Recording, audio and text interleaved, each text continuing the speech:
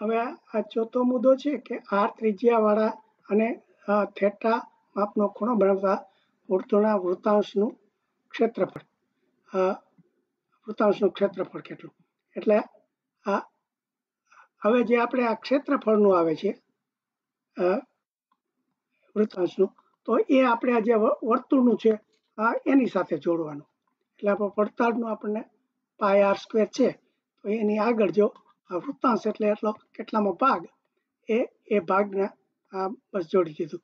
એટલે હવે આમાં જો આપણે અમારે ક્ષેત્રફળ જોઈતું હોય, તો કીધું ને કે, ધારો કે હું અહીંથી આ જે ભાગ છે ને, આને બધાને આ વૃત્તાંશ કહેવાય.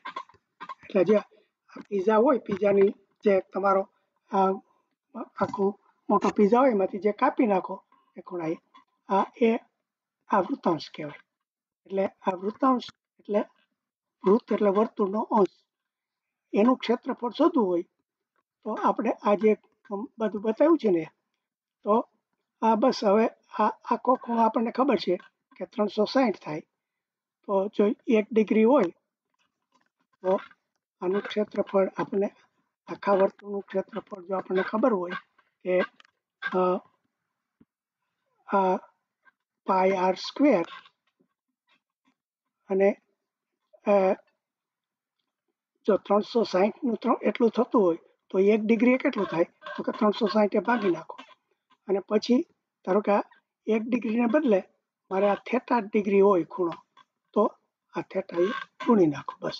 એટલે આ રીતે સૂત્ર આ થેટા છે ત્રણસો સાહીઠ થેટા એટલે ધારો કે આ ત્રીસ ડિગ્રી હોય કે ધારો કે આ ત્રીસ ડિગ્રી હોય, તો શું થાય? ત્રીસના છેદમાં ત્રણસો સાહીઠ ભાગ્યા આઈ આર સ્ક્વેર કરો તો એનું ક્ષેત્રફળ મળી જાય.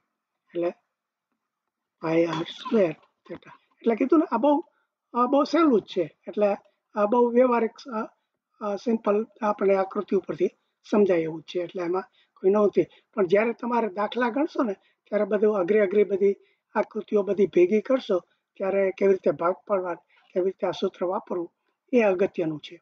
એટલે આ મુદ્દો ચોથો બસ આ ખાલી એનું સૂત્ર છે.